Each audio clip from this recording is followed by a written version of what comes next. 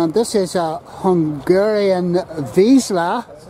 He's two year old and he's called Ben. And a lovely looking animal. Wouldn't be too many of these about. Well, their, their daughter has one. teaches you for being a special dog. You know? Superb, Very sup- annoying when they don't want to take your photograph. It's only your superb animal.